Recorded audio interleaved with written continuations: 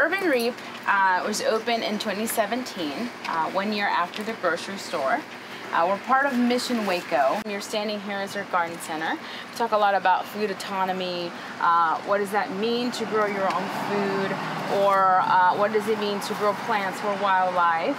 Uh, and then we'll, as I will walk through, I'll show you part of our composting initiatives, right? So, uh, as part of the food system, right, there's the production side, uh, and then of, towards the very end, the waste side of what do we do after maybe our food has gone bad, our, waste. And so, I'll show you different composting initiatives that we have. We have a composting machine that we are able to take more than just the conventional stuff you can compost. Uh, so we have meat and dairy to that. Uh, and then we have our three bin, which is more of uh, what you could do in your backyard. Uh, we also have our aquaponics greenhouse. And so that one, um, we grow um, plants and water with a harmony of fish added to the system. Let me see. Uh, there's also mint if anybody wants any. I know some of you are from out of town, but there's some mint over here. She got some oregano. She said take, take, take. What's interesting is for some of our herbs and our veggies too, the more we harvest, the more we'll produce the more the plant will produce. Good morning. Glad to have you all. Uh, Garrison Street Garden.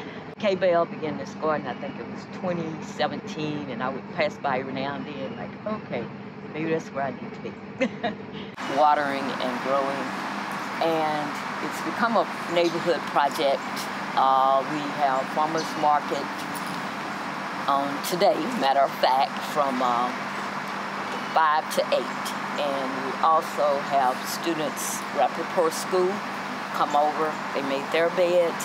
All you have to do, fruit watermelon, drop it over there in that wire bin, and you take Mother Nature and give it back to her. The wire around it, you put your garbage wherever uh, feasible for gardening. You put it off in the wire area, and it feeds the soil back all of that we need. No, you know, uh, no meats, and anything that's not compost. So this garden in the neighborhood have been a big step up for East Waco.